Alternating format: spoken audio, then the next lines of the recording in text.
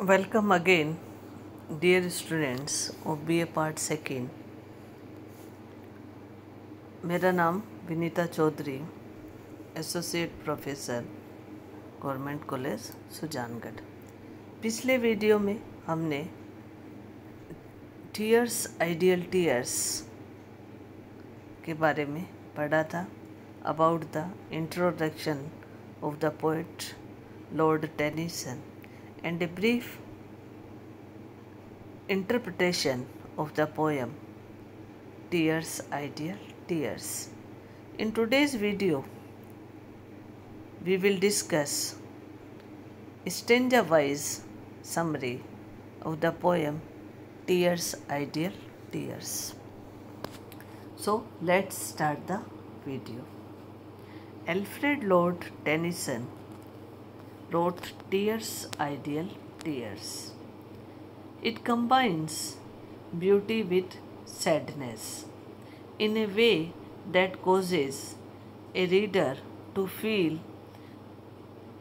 empathy for the speaker.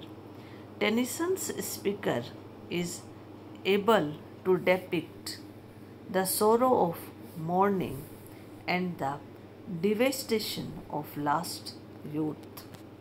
He brings attention to what it means to age and becomes aware of the darker side of life. The first stanza Tears, idle tears, I know not what they mean. Tears from the depth of some divine despair rise in the heart and gather to the eyes in looking on a happy autumn fields and thinking of the days that are no more. In the first lines of the poem, the speaker describes how he feels tears in his eyes. He says that tears, idle tears, I know not what they mean. I don't know what is the meaning of the tears. The poet calls them idle tears because he doesn't know why they come into his eyes. What is the reason behind the coming of the tears in his eyes? So he called them idle tears. He doesn't know why they are there or what has caused them. This leads to the description of them as being idle tears. It is an emotion that has suddenly overwhelmed him and his brain is yet to catch up to his heart. The only thing that is clear at this point is that they come from the depth of some divine despair. He only knows that they comes from the divinity, the depth of his heart. Rise in the heart and gather to the heart. The tears rises into his heart and they gather into his eyes. The speaker feels something spiritual building up inside his soul. It is close, it is close to being divine or God like. Generally, when something is described as divine, it is angelic, joyful, and glorious. This is different thought. It is divine despair. He goes on describe his feelings as rise in the heart and gather to the eyes. In the last two lines of this stanza, the speaker reveals what has triggered his divine despair, while also provides the setting.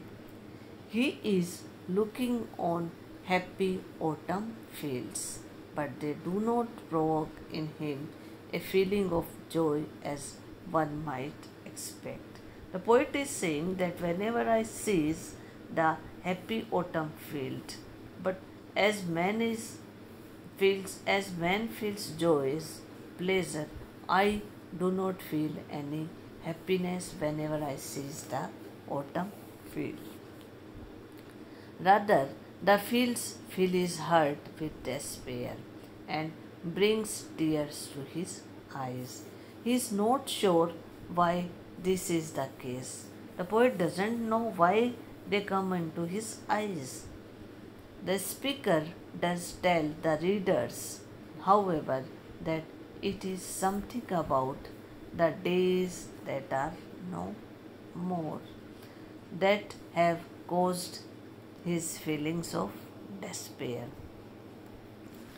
In the next stanza, fresh as the first beam glittering on a sail that brings our friends up from the underworld, sad as the last which reddens over one that sinks with all we love below the verge, so sad, so fresh, the days are that are no more. In the second stanza, the speaker reveals the pain he feels at his at this moment of recollection is as fresh as it was the moment he first experienced it. Then in the second line, he reveals why thinking about lost days causes him such pain. He claims that these, these memories bring our friends up from the underworld. Here it becomes apparent the speaker is thinking about the people who have died before him. The wounds feel fresh as the memory of their lives and deaths spring upon them. Third stanza are sad and strange as in the dark summer dawns, the earliest pipe of half awakened birds to dying ears when unto dying the eyes the casement slowly glows a glimmering square. In the third stanza, the speaker says that he finds these days gone by as very strange.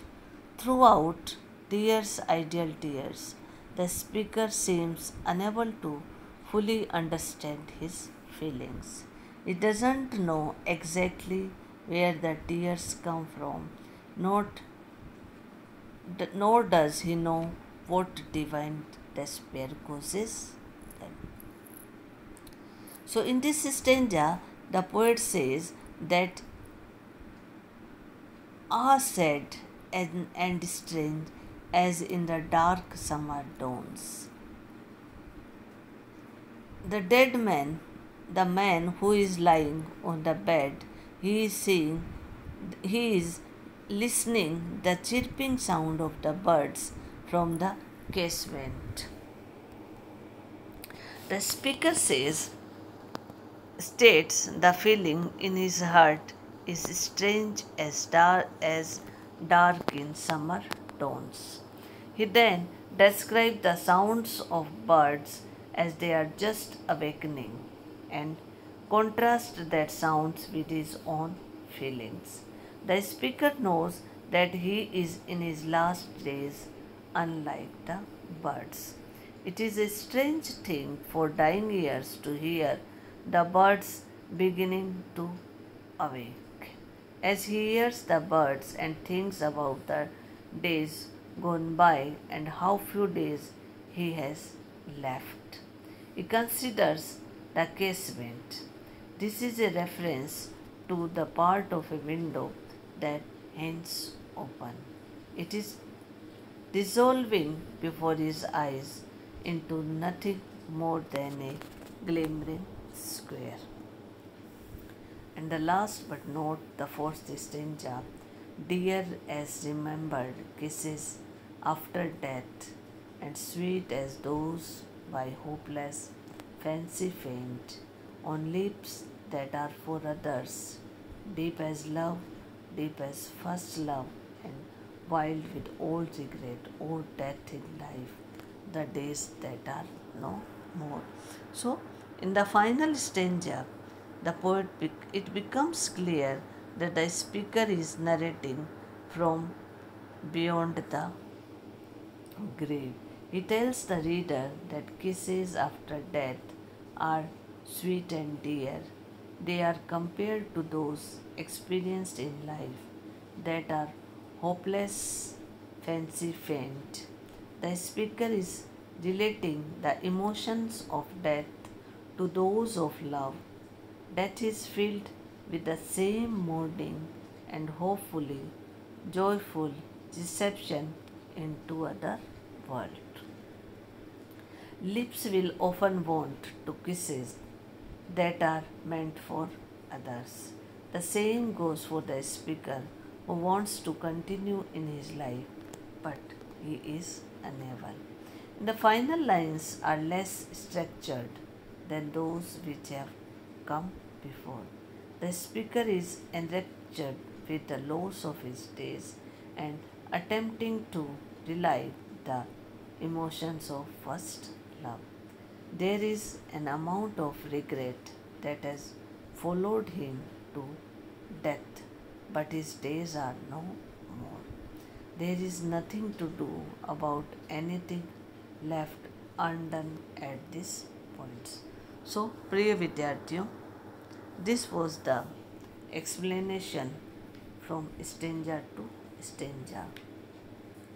In the next video, we will talk about the literary figures used in this poem.